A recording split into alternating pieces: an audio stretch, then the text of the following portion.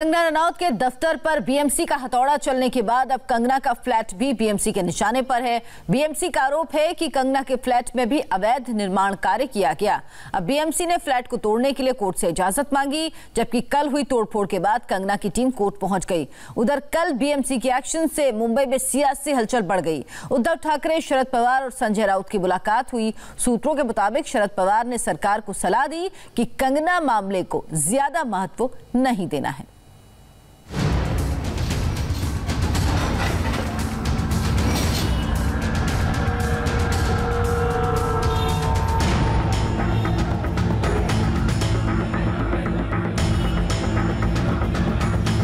मुंबई में कल लोकतंत्र को सत्ता के अहंकार की जूती के नीचे कुचला जा रहा था। कंगना रनौत के इस दफ्तर के अंदर जब आप झांकेंगे तो सरकार के अहंकार की झलक दफ्तर की टूटी फूटी तस्वीरों में नज़र आ जाएगी।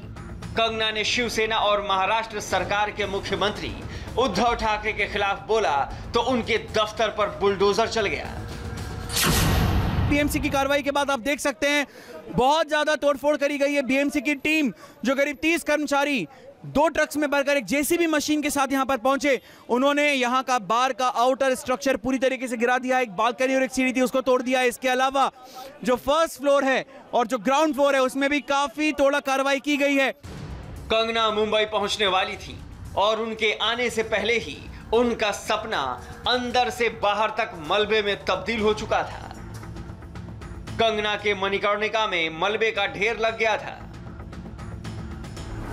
उद्धव ठाकरे तुझे क्या लगता है कि तूने फ़िल्म माफिया के साथ मिलके मेरा घर तोड़ के मुझसे बहुत बड़ा बदला लिया है? आज मेरा घर टूटा है कल तेरा घमंड टूटेगा।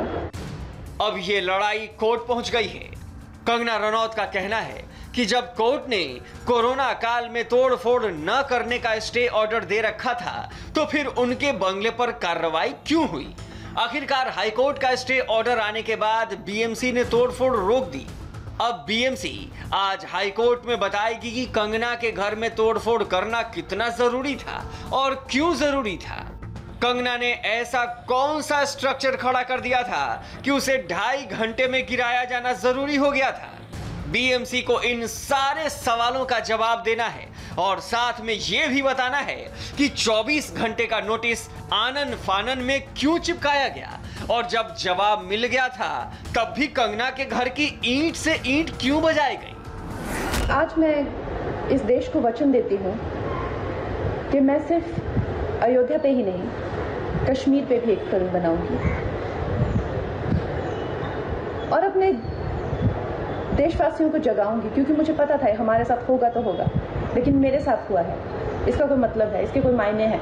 और उद्धव ठाकरे, ये जो क्रूरता और ये जो आतंक है अच्छा हुआ, ये मेरे साथ हुआ, क्योंकि इसके कुछ मायने हैं। और अब भविष्यवाणी